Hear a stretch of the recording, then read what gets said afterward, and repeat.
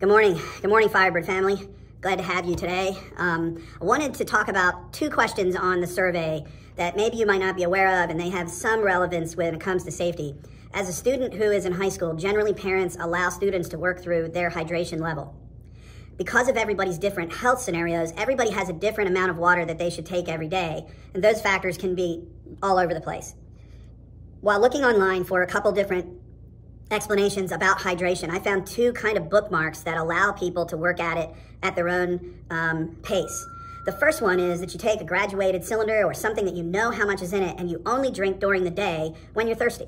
And at the end of the day, you count up to see how much water you drank, only when you're thirsty.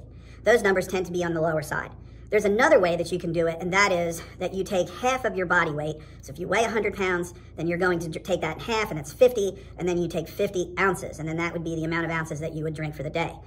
Now, I have to say that there, as you've been looking at the video that I asked you to look at yesterday, you're beginning to look at hydration. It is very important that you don't overhydrate that half your weight in ounces is a really good barrier to not go above. Sometimes people think if I drink more, that that'll be better for me. If you drink too much water, it can actually flush out your electrolytes. You saw the electrolytes in the video that we talked about yesterday. So you want to stay below that line. You do want to be smart about it. You want to make sure that you're drinking the right amount and not too much. So that'll give you a little bit of head start as you're working on your hydration for the daily technique. There's another question on there that talks about breathing. And I'll just tell you that there is a breathing exercise where you breathe deeply in through your nose and then slowly out through your nose. And you just keep doing that, deep in through your nose and out through your nose. But the trick is that you want to expand your belly as you're breathing in. And it works like a billow. So as you push your belly out, you breathe in. And you can even, after you stop breathing in with your lungs, you continue to push your belly out and you can feel air coming in.